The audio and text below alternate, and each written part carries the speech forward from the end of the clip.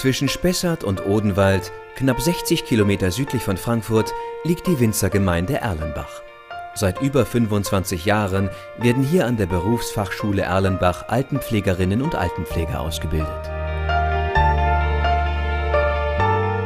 Eine spezielle Philosophie unserer Schule ist, glaube ich, dass wir uns im Laufe dieser 25 Jahre versucht haben, immer am aktuellen Pflegestand zu orientieren. Wir versuchen immer die neuesten pflegewissenschaftlichen Erkenntnisse mit einzubauen.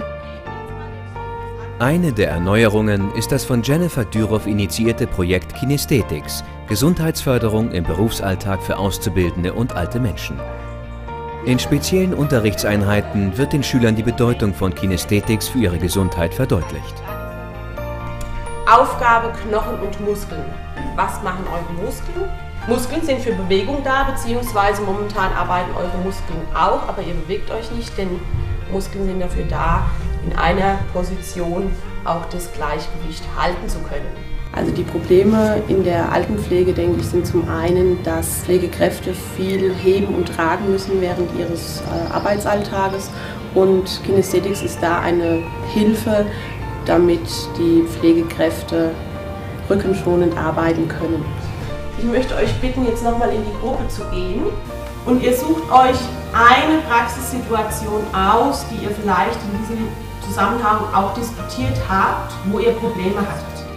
Bei verschiedenen pflegespezifischen Übungen wird deutlich, dass die mit Hilfe von Kinesthetics vermittelten Kenntnisse nicht nur der Gesundheit der Pfleger zugutekommt, sondern auch der Mobilität der Bewohner.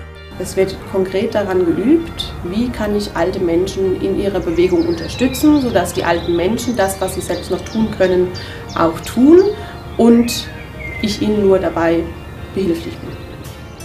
Um ihre Fähigkeiten weiter zu vertiefen, gehen die Schüler auch in die Praxis. Die Berufsfachschule ist direkt an das Seniorenstift Erlenbach angegliedert, wo die Schüler das Erlernte mit den Bewohnern zusammen anwenden. Auch hierbei werden sie von ihrer Ausbilderin unterstützt. Die Sunai möchte Ihnen helfen beim Aufsetzen. Ja, wenn Okay. sie mir hilft, komme ich raus. Genau, ja, da hilft genau. sie Ihnen und ich Ja. schaue mal zu, Wie das geht. wie das geht. Vielleicht finden wir aber auch noch was, was ein bisschen leichter geht. Da muss ich alleine aufstehen. Genau. So.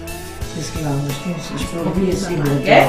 Individuell auf die physischen Probleme der Bewohner abgestimmt, werden verschiedene Hilfsmittel und Methoden der Kinästhetik eingesetzt. Die Schüler bekommen ein direktes Feedback sowohl von der Ausbilderin als auch von den Bewohnern selbst. Und? Wie war das jetzt mit der Leiter? Das war einfacher. Das war einfacher? Die Kinästhetikbesuche, die jetzt neu eingeführt wurden, die gibt es ja noch nicht sehr lange, sind meiner Meinung nach sehr, sehr wichtig, weil sie helfen uns sehr, wenn der Lehrer auch mal hier dabei ist und man sieht, was wir machen und uns noch korrigiert. Kinästhetik fördert auch die Motivation der Pflegekräfte. Sie merken, es geht einfacher, es geht besser, vor allen Dingen Gesundheitsförderung der alten Menschen. Ihre Ressourcen werden vollkommen genutzt, ihre Bewegungsressourcen werden mit einbezogen, was natürlich für die alten Menschen auch wieder von Vorteil ist. Und ja, ein Erfolg überträgt sich auf den Erfolg für die Pflegekräfte auch. Also Das macht auch Riesenfreude, wenn man sieht, dass es bei den Leuten gut ankommt, ja, dass man viele Sachen ausprobieren kann einfach. Und wenn man sieht, dass es auch mit Erfolg passiert, ne, dann macht es Spaß. Eine Meinung, die viele Mitschüler teilen.